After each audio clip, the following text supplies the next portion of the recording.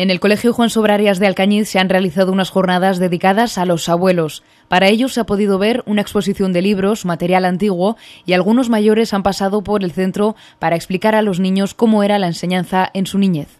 La campaña Abuelo, vente a mi cole tiene por objetivo enseñar de primera mano cómo eran los colegios, las clases, los libros en sus tiempos y también acercar a los abuelos a los centros donde se forman sus nietos. Esta actividad está metida dentro de un proyecto que hemos hecho en el cole este año que se llama eh, Abuelo, vente a mi cole. Entonces en ella van a ir viniendo distintos abuelos de alumnos que hay en el colegio y nos van a contar su experiencia desde que iban al colegio, cómo eran sus maestros, cómo eran sus aulas, qué materiales llevaban no como los libros que tenemos ahora, que solamente llevaban un libro, cómo eran sus castigos, a qué jugaban en los recreos.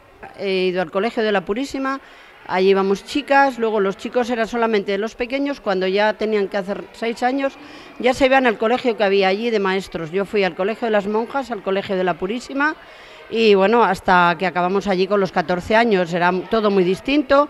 Los libros, eh, llevábamos una enciclopedia, para leer sí que llevábamos otro libro, pero la enciclopedia llevábamos ahí matemáticas, lenguaje, aritmética, gramática, pues historia de España, historia sagrada. Todo eso es lo que nosotros llevábamos y aparte, pues al ser en las monjas, también el mes de mayo íbamos allí a eh, todos los, todas las mañanas teníamos misa y por la tarde teníamos el rosario que íbamos a ofrecer todas las chicas. Bueno, se pasaba bien, muy distinto a lo de ahora y es lo que les vamos a contar ahora a tres o cuatro cursos y cada día al curso que les toca.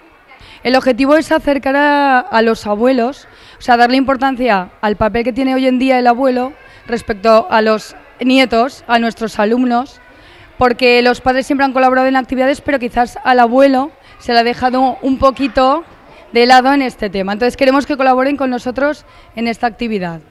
Los abuelos participantes se llevaron de recuerdo una foto de grupo con los alumnos y un diploma.